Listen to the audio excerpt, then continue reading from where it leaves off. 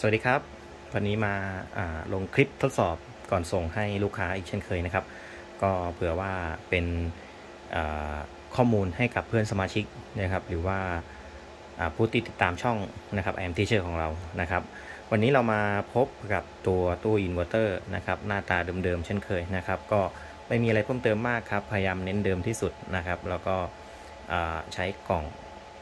เป็นตู้ไฟธรรมดานะครับ วันนี้มาพบกับชุด 3,000 วัตต์นะครับ หรือว่า 3 กิโลวัตต์ 24 โวลต์นั่นเองนะครับ วันนี้เอามาดูที่หน้าตู้กันก่อน หน้าตู้ก็เหมือนเดิมนะครับ มีตัวหน้าจอนะครับ แสดง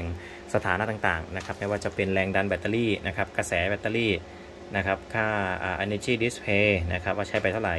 สถานะอินเวอร์เตอร์นะครับ รวมถึงไฟ output ด้วยนะครับ ข้างบนก็จะมีตัวพัดลมนะครับ อันนี้เป็นของ charger นะครับ อันนี้เป็น ตัวที่จะไปเป่าตัวบอร์ดนะครับนะมันจะทำงานในกรณีที่ตัวบอร์ดมันร้อนนะครับด้านข้างก็เหมือนเดิมนะครับ มี terminal ที่เป็นไฟ AC output นะครับ แล้วก็ตัวปลั๊กนะครับ แล้วก็สายแบตเตอรี่รวมถึงหัว MC4 ที่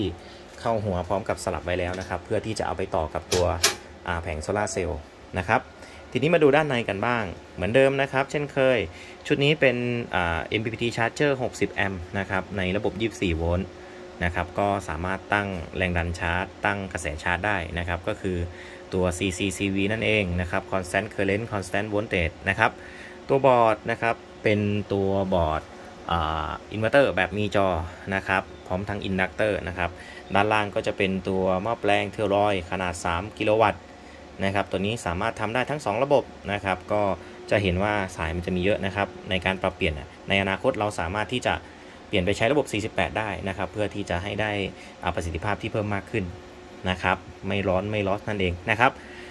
ตัวเบรกเกอร์นะครับบนสุดก็จะเป็นเบรกเกอร์แบตเตอรี่นะครับเบรกเกอร์ AC out นะครับเบรกเกอร์แผงในการในในการต่อนะครับเราก็ต้องต่อแบตเตอรี่เข้ามาก่อนเสมอนะครับพอต่อเสร็จแล้วครับอย่าลืมที่จะวัดก่อนนะครับว่าเราต่อเข้ามาถูกไหมนะครับถ้าถูกแล้วก็เปิดเบรกเกอร์ขึ้นได้นะครับหลังจากนั้นก็ไฟก็จะติดนะครับแล้วเราก็เปิดเบรก AC output ออกไปใช้งานนะครับ สุดท้ายค่อยเปิดตัวแผงนะครับตัวแผงจากแผงโซลาเซลล์นะครับเราต่อมาเท่าไหร่แล้วก็มาผ่านเบรกเกอร์ชุดนี้นะครับก่อนที่จะเข้า charger นะครับวิธีปิดก็ให้ปิดจากแผงก่อนนะครับปิดจากแผงก่อนแล้วค่อยไล่เรียงกลับขึ้นไปนะครับวันนี้เรามาทดสอบกัน ทดสอบกัน 2 ค่านะครับ วันนี้เรามาดูค่ากระแสนะครับ ตอนนี้ผมเสียบกับเจ้าตัวเครื่องดูดฝุ่นนะครับแบบถัง 30 ลิตรนะครับ 1,600 วัตต์ เรามาดูว่ามันจะกินไปที่กี่วัตต์นะครับ ตอนนี้ก็จะมีไฟพัดลมมีแรงต่างด้วยนะครับ ก็กินกระแสสแตนบายอยู่ที่ 1 แอมป์กว่านะครับ ก็ไม่รู้ว่ามันคลิปทางไหนให้มันแบบได้ค่าจริงเนาะเห็นไหมครับอ่าอันนั้นเอาอันนั้นคือกระแสที่มันไหลผ่านนะครับ กินอยู่ประมาณ 0.2 แอมป์ standby นะครับ ทีนี้เรามาดูค่ากระแสอ่าค่ากระแสเป็นตัว inrush นะครับเป็นตัว inrush ก็คือช่วงกระแสที่มัน peak นะครับผมจะเปิดกับเจ้าตัวเครื่องดูดฝุ่นกินค่อนข้างเยอะนะครับ กระชากค่อนข้างแรงนะครับเอาพุทที่ตั้งไว้ก็ปกติเลยครับ 220 นิดๆนะครับ เรามาดูครับว่ากระแสที่มันได้มันท่านได้เท่าไหร่นะครับ ผมจะเปิดนะครับ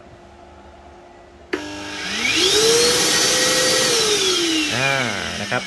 เป็นกระแสอินลัสนะครับช่วงที่มันกระชากนี่นะครับ มันพีคนะครับมันพีคมันกระชากขึ้นถึง 103 แอมป์นะครับ 103 แอมป์อันนี้ผมต่อจากแบตเตอรี่ลิเธียม NMC นะครับขนาด 24 โวลต์ 100 แอมป์ก็คืออ่ามันดิสถูกดิสออกไปเนี่ยนะครับดิสชาร์จออกไปที่ 103 แอมป์ก็คือ 1C นั่นเองนะครับ C เลทของแบตเตอรี่คือ 1C นะครับก็คือตัวมันเองนะครับตัวนี้สามารถพีคได้ถึง 3C นะครับพีคนะครับไม่ใช่โหลดต่อเนื่องนะครับพีคนะครับ ก็อันนี้คือค่าที่มันพีคขึ้นสุดนะครับ ทีนี้มาดูค่าที่มันกินต่อเนื่องของเครื่องดูดฝุ่นเครื่องนี้นะครับ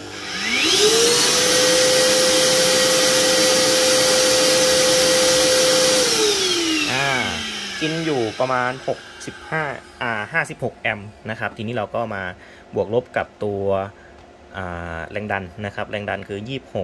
26.4 นะครับ คูณกับ 56 นะครับคร่าวๆ คือ 1478 นั่นเองนะครับ อันนี้คือเปิดเฉยๆนะครับ ไม่ได้ดูดฝุ่นนะครับ อันนี้ก็จะเป็นตัวอินเวอร์เตอร์ อินเวอร์เตอร์เราสามารถปรับตั้งได้หมดเลยนะครับ ไม่ว่าจะเป็นค่าต่ำตัด ค่าสูงต่อ ต่ำตัดตรงนี้นะครับ ลูกค้าก็สามารถปรับตั้งได้นะครับ ก็เพิ่มลดค่าได้นะครับ เลื่อนนะครับ อันนี้คือค่ากลับมาทำงานต่อนะครับ อาจจะ 25.5 ก็ได้นะครับ ตั้งไว้ให้ อันนี้ High Volt นะครับ อันนี้คือ Overload นะครับ อันนี้คือ Output นะครับ ทีนี้เนี่ยถ้าสมมติว่าเราไม่ชอบภาษาไทย